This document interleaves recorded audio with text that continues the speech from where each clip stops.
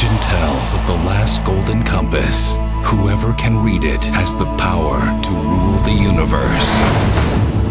There are those who would use it for good, and those who seek it for evil.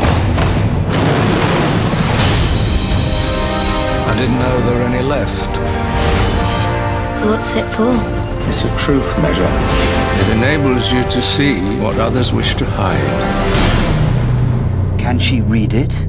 impossible. What's wrong? What can you see? It must be found.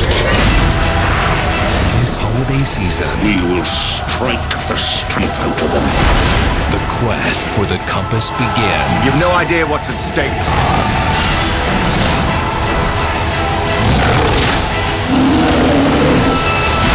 We're